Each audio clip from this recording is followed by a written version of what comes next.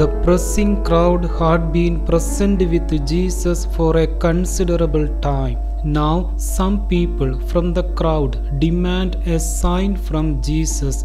A sign is something that points to another reality.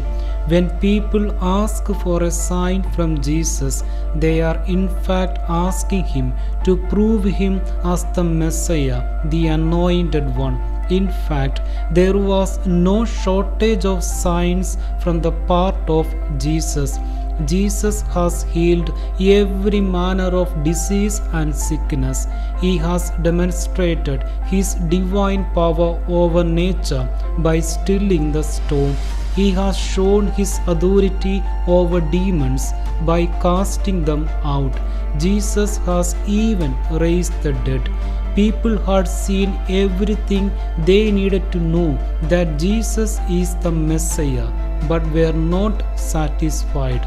Still, they declare, Give us a sign. Luke says, People kept demanding a sign only to test Jesus. At times, signs are granted to those who decide them to confirm their faith. However, signs are always denied to those who demanded them to excuse their unbelief.